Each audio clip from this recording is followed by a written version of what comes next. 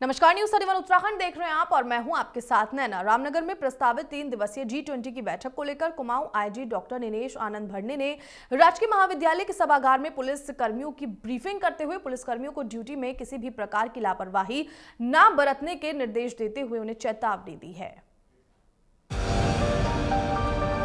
बता कि अगर ड्यूटी के दौरान किसी भी प्रकार की कोई लापरवाही की गई तो संबंधित पुलिस कर्मी के खिलाफ कार्रवाई करने के साथ ही उसे सस्पेंड भी किया जा सकता है।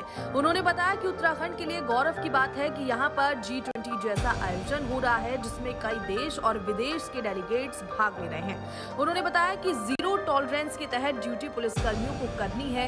साथ ही उन्होंने बताया कि नैनीताल जनपद और उधम सिंह नगर जनपद सहित दोनों जिलों के करीब दो से अधिक पुलिस कर्मियों और अधिकारियों को ड्यूटी पर लगाया गया है।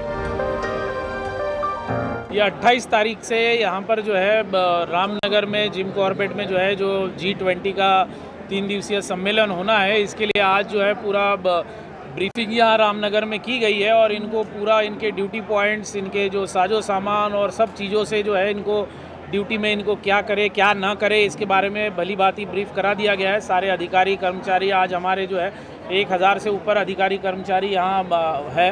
तो इसमें जो है कुछ कंटिजेंसी रूट है, कुछ और अन्य प्रॉब्लम्स वगैरह है, हमारे यहाँ कई इश्यूज़ है।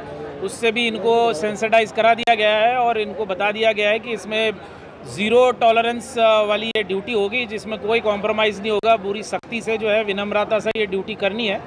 और जो है, ये सम्मेलन शांतिपूर्वक जो है, एक अच्छे से होगा यहाँ पर। रामनगर में होने वाली तीन दिवसीय जी ट्वेंटी की बैठक को लेकर रविवार को राजकीय महाविद्यालय के सभागार में आईजी कुमाऊं डॉक्टर नीलेश आनंद भरने ने पुलिस ब्रीफिंग करते हुए पुलिस कर्मियों को ड्यूटी के प्रति पूरी तरह सजग रहने के निर्देश दिए। उन्होंने कहा कि ड्यूटी में लापरवाही बरतने वाले कर्मचारियों के खिलाफ कार्रवाई भी की जाएगी। तो वहीं उन्होंने बताया कि उत्तराखंड में इस प्रकार की ड्यूटी पुलिस कर्मियों की पहली बार है। जिस प्रकार से ड्यूटी की जा रही है, इतना फोर्स प्रधानमंत्री की सुरक्षा को लेकर लगाया जाता है। तो वही उन्होंने पुलिस कर्मियों से किसी भी प्रकार की ड्यूटी में जाए को चूक ना होने की बात कही तो इन्होंने कहा कि बाहरी व्यक्ति का पूरी तरह प्रवेश वर्जित रहेगा और जिनके पास पास होंगे, उनको ही केवल कार्यक्रम स्थल पर जाने की अनुमति दी जाएगी। उन्होंने बताया कि नैनीताल और उधम सिंह नगर को मिलाकर करीब दो हज़ार से अधिक पुलिसकर्मियों और अधिकारियों को ड्यूटी में तैनात किया गया है। रामनगर से राजीव अग्रवाल के साथ cameraman Bunty Arora, news thirty Uttarakhand.